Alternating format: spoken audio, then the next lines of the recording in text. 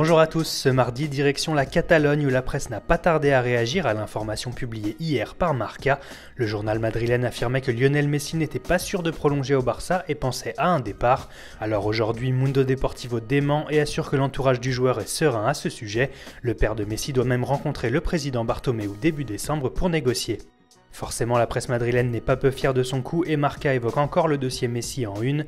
De son côté, As remet une couche sur le quintuple Ballon d'Or et assure que l'Argentin a été malade dans l'avion transportant sa sélection avant le match face à la Colombie prévu ce soir.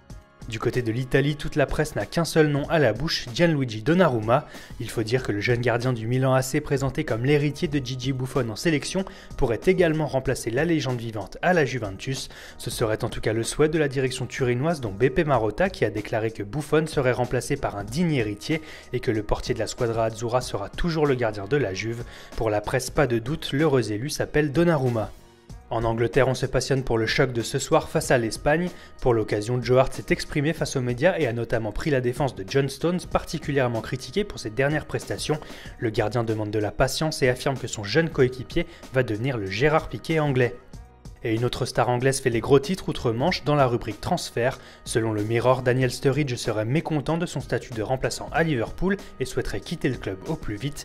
Plusieurs clubs seraient même déjà sur les rangs, dont West Ham et Stoke City.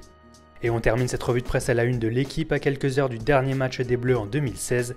Didier Deschamps aura plusieurs objectifs face à la Côte d'Ivoire, faire tourner, terminer en beauté et battre le record de victoire sur une année civile détenu par les Bleus de 2003 avec 13 succès. Voilà, c'est tout pour aujourd'hui. Bonne journée à tous sur Foot Mercato et rendez-vous demain pour un nouveau tour d'horizon de la presse sportive.